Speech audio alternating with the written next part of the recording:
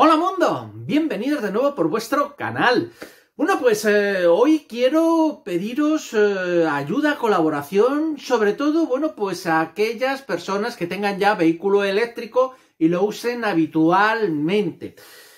La cosa está en los puntos de, recarga para estos eh, vehículos. Ya sabéis que aquí en España, bueno, pues tenemos mucho déficit de estos puntos de, de carga, ¿vale? No hay muchos Muchas veces los tenemos, pero esos mismos puntos de carga o no funcionan o lo que sea. Es decir, ha habido bastantes problemas eh, con ellos. Bueno, pues poco a poco la verdad es que se está haciendo una instalación progresiva de puntos de carga aquí en España, ¿vale? Pero bueno, eh, os pido colaboración para cualquier eh, parte del mundo que me veáis, ¿vale? No solamente aquí en, en España, ¿vale? Pero bueno, yo me centro aquí en lo que conozco que aquí en España, pues eso, que hay muy pocos puntos de carga para vehículos eléctricos. La cosa está en lo que os quiero, bueno, pedir vuestra colaboración es, bueno, pues ya que están estos puntos de carga, ¿Qué tal el tema de, precio? Es que hay algo que a mí me está un poco, pues, eh, no sé, revolviendo por dentro. Ya sabéis que las eléctricas están aprovechando y también están haciendo sus puntos de, carga, es decir, su propia red de puntos de carga. Aquí en España, Endesa, Iberdrola, etcétera, etcétera. En este caso, bueno, pues también Repsol, que ya sabéis que ha sacado una comercializadora de energía, también está haciendo pues la instalación de puntos de carga en sus gasolineras a través, bueno, pues ya de su compañía eléctrica. Y es que tengo el miedo, ¿vale? De que, bueno, pues eh, ya sabemos cómo funcionan las eléctricas y a la hora, bueno, pues de los precios que se vean un poco como... ¡Uh! Aquí podemos, venga para arriba, venga para arriba, y que pongan precios desorbitados. Aquí tenemos el caso de Ionity en Europa, que ya sabéis que si mal no recuerdo era 0,79. 0,79 kilovatio hora, ¿vale? Es decir, una verdadera pasada. Lógicamente, para los que son miembros y demás, socios fundadores, las compañías y todo eso, pues tienen un precio más asequible. Pero para el populacho general es lo que, lo que hay.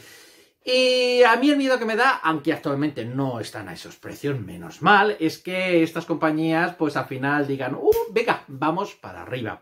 Hay que decir que existen compañías, eh, por ejemplo, aquí en España, Easy Charger, eh, Carga Coches, es decir, unas cuantas compañías, ¿vale?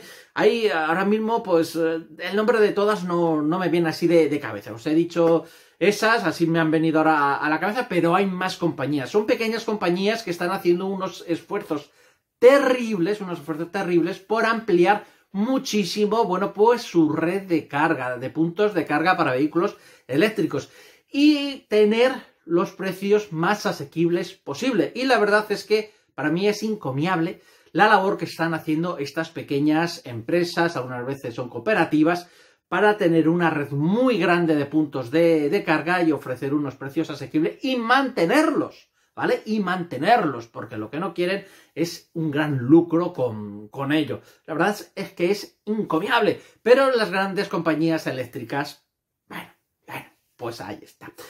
Yo lo que os quiero pedir, ¿vale? Es a los que tenéis vehículos eléctricos, ¿cómo os va cuando tenéis que cargar fuera de casa esos vehículos eléctricos? ¿Esos precios se mantienen bien? ¿En algunos sitios son abusivos? ¿Que ¿Con qué compañía cargáis normalmente? ¿Cuál habéis probado? Y sobre todo el mantenimiento de esos puntos de carga, que también nos hemos encontrado como que muchas veces, bueno, pues la gente se queja, si vemos Twitter, ¿vale?